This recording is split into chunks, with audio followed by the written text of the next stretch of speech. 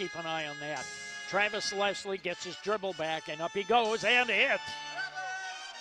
Real nice shot by Leslie. They are delivering. The first quarter is a little bit different from what the Mad Ants started off last night. The ball's not moving as well early. Ice love. You'd swear the Mad Ants are the ones who traveled to get home here. Leslie down the lane, puts it up and in. Is slicing the Mad Ants up right now. Here's Leslie, strong to the basket. No, gets his own follow.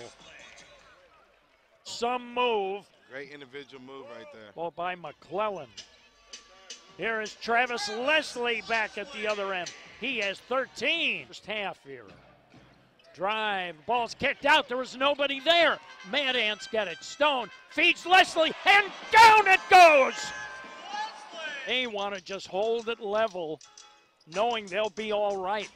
Oh, a cut, and Trey McKinnie Jones is giving that south rim a workout. Man. Christian Watford, Lloyd, little stop and go move. Good pass. Hits Leslie cutting down the lane and scores the basket.